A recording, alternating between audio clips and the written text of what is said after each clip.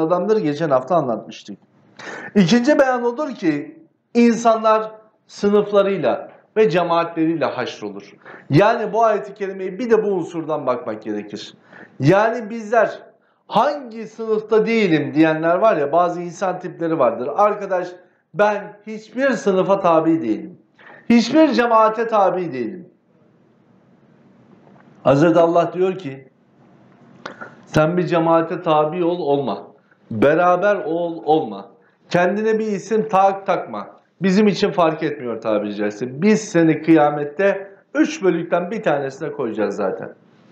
Sen bu dünyada olmadığını zannediyor olabilirsin ama hakikatte ya defterini sağdan alanlardan ya soldan alanlar ya da es-sabikundansın. Üçünden birindesin. Ve hakikat cemaat olma tasvirine ulaşmış olanlar sağcıların önemli bir kısmıdır. Es-sabikun zaten cemaat olma gerekliliğine inanmış adamdır. Yani burada bir parantez açmak gerekir.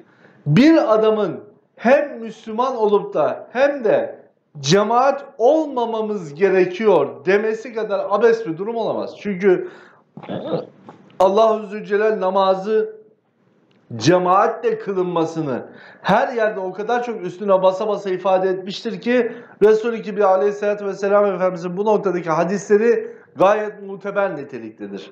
Yani bir müminin benim bir cemaatim yok demesinin manası yok. Elbette ki bir cemaatin fikriyatı kendisini inkişaf etmiştir. Ancak o cemaatle beraber olabilir, olmayabilir. Mürşidi olabilir, olmayabilir. Ama bugün bir Müslümanı karşısına, karşınıza aldığınızda ondan tarihte ilk defa bir şey duymazsınız. Mutlak surette söylediği söz bir cemaat önderinin, bir cemaatin başında gelenin, bir cemaatin içerisinde konuşulan bir değerin karşılığını konuşur. Şimdi şöyle tabir edeyim.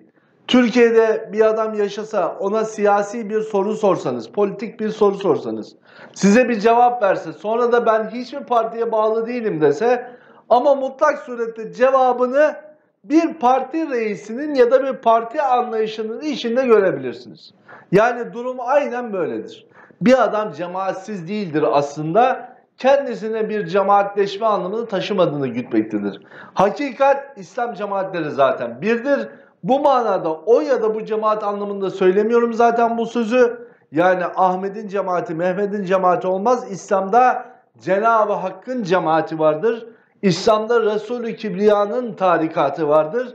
Ondan sonra gelmiş olan zat-ı muhteremler Hazreti Pir başta olmak üzere bütün büyük zat-ı muhteremlerse cemaat-i İslamiye'nin önderleridir. Dolayısıyla cemaatleşmeyi bu manada bir kez daha ifade edelim ki hani ocu musun bucu musun değil herkes Muhammedidir bu hakikat dairesinde.